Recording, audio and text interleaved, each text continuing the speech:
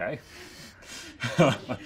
In the 1995 film Heat, Robert De Niro's character committed armed robbery. In the 2008 film Pineapple Express, James Franco's character dealt illegal drugs. In the 1994 film Pulp Fiction, Samuel L. Jackson's character committed multiple counts of murder.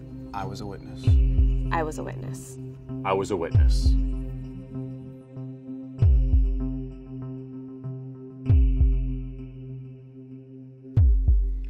Okay, how's it going? All right, I'm about yourself? Steve. I'm the artist. Nathan.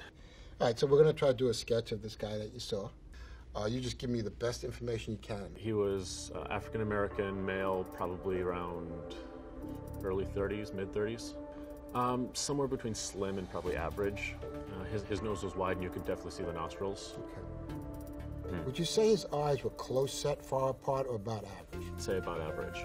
Caucasian male, um, probably between mid 20s and uh, 30s. He had a very like oval face, strong jaw. His eyes were maybe kind of lazy. He had brown hair. It was shoulder length, straight. He's an older white male. Um, he's in his uh, late 40s, early 50s. I've never nailed down his age particularly. I would say that his eyes are normal aspect. They're not too far. They're not too narrow. But when he's looking at you, he you know that he's looking at you specific. Keeps his hair on like a average military build, uh, about two inches in bulk on the top, about one inch on the sides. And then he had uh, really interesting facial hair with, with the sideburns coming down and a handlebar mustache. Handlebar, yeah. Is it got Uh, the lips might have been a bit thinner. thinner than this, yeah? Yeah. His hair was uh, was like jerry curled. His bangs ended like an inch above his eyes, and then came down a little bit longer in the back. Have you, uh, did- did- have you ever seen this guy before? Show him just now. No, it was the first time. His eyebrows were thin. Is there anything that you want to tell me right now? This is a good time to tell me. Uh, and just like a little bit of facial hair. So a little bit mustache and just kind of a stubbly chin. I have no idea what the guy looks like, so, so you need to tell me. Otherwise, I can't. I can't. Uh, sometimes you know. His eyebrows were thin, and maybe lips were a little wider on the face. He keeps his uh, facial hair in about like a goatee fashion.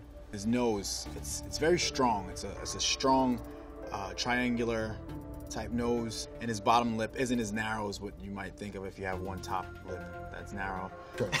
I mean, there's a difference. Has like a little mole type thing. Uh, it's on his right side. How does that look? It looks something like the guy. yeah, it looks quite a lot like him.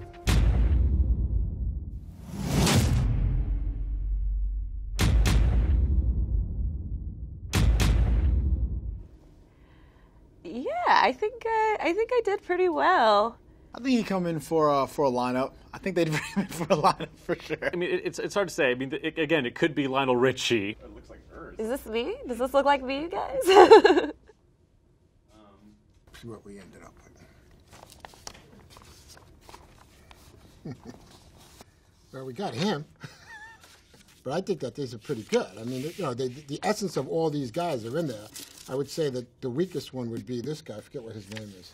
James Franco. Franco, right.